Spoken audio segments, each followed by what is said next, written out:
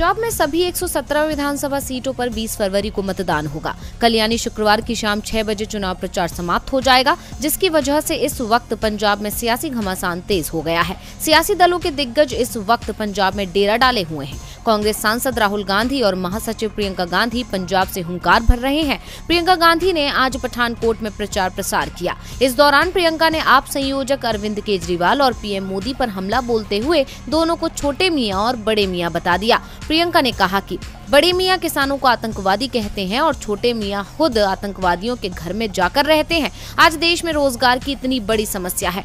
रोज़गार आते कहाँ से थे? बड़े बड़े पीएसयू से आते थे। रेलवे, बीएचईएल, इस तरह के पीएसयू से। मोदी सरकार ने सारे के सारे पीएसयू बेच डाले। किसको बेचे? उन्हीं दो उद्योगपतियों को बेचा। और जो नहीं बेचे हैं, उनको बेचने की योजना बना रहे हैं। पूरी तरह से देश में अमीरों के लिए राजनीति चल रही है। अगर आप देखें कि यहाँ पठानकोट में कितने छोटे छोटे बिज़नेस हैं, मध्यम बिज़नेस हैं, दुकानदार हैं जो अपनी रोजी रोटी चैन से कमा रहे हैं। आज उनकी क्या परिस्थिति है?